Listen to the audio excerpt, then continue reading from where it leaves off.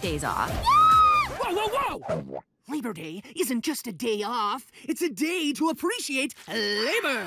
Like uh, this shirt, for instance.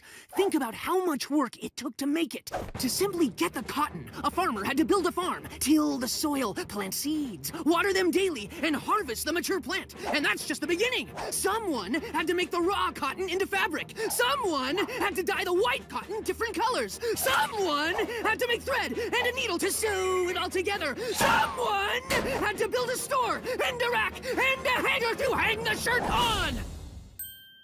You purchased the superhero costume at the store? The point is, Oh, soon we will be swimming with the peanut butter and the jellyfish. beach umbrella?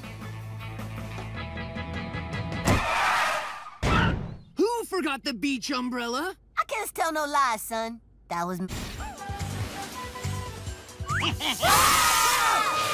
what if we just made our own beach umbrella? What, you crazy? That sounds like a lot of work. What are you going to use for glue?